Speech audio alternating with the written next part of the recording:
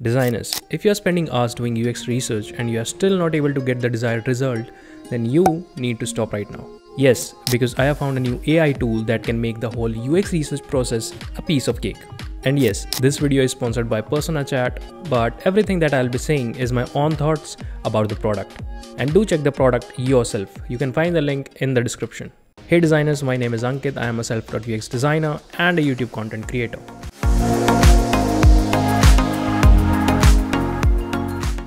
Whether it be creating user persona, user journey mapping, or if you want to document your research, then you can do that in just a single click. With that being said, let's dive right into the video. Now, this is the interface of Persona Chat. This is the actual product. Once you enter the product, you will see that we have the research features and active projects. So in research features, these are the features that Persona Chat is offering you and you can do these research methods in this product. In active projects, you will see all the active projects that you are doing or you have done in the past. On the left side in the side drawer, you will see that we have a new project, active projects and drafts. And below that, we have Figma library and Webflow library. So what it offers is Figma library and Webflow.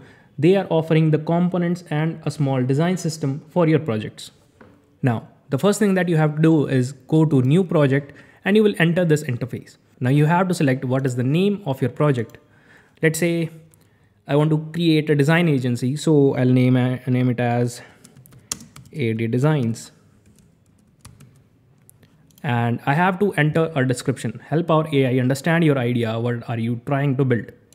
So I'll create a, a design agency that focuses on creating human centric designs.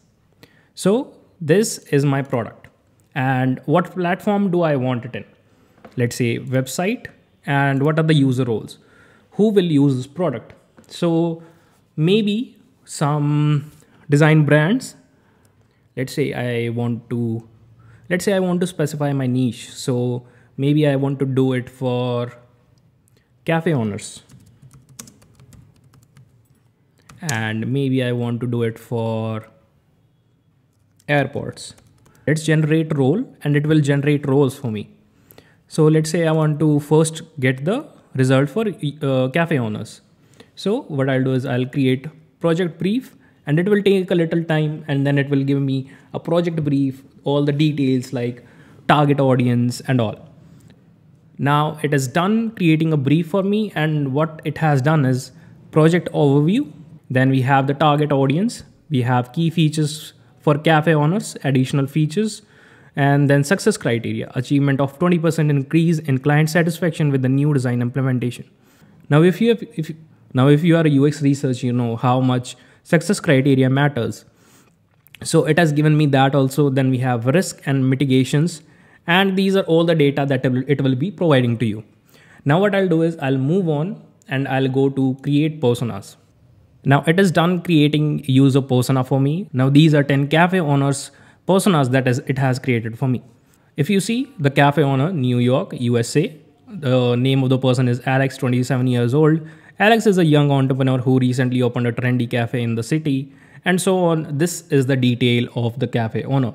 This is one of the user persona and so on. We have 10 more user personas. Now let's move on and create our surveys. Now we have already done personas. Now the surveys are done as well. If I go to review, then you will see that it has generated some questions for me. So would you be interested in virtual tours of your cafe on your website? Yes, it would be a great addition. Do you think an events calendar showcasing special events at your cafe would attract more customers? So if you see, they have generated questions, not just simple and basic questions, but these are actual questions that a customer would want. And you will get really good data from this research.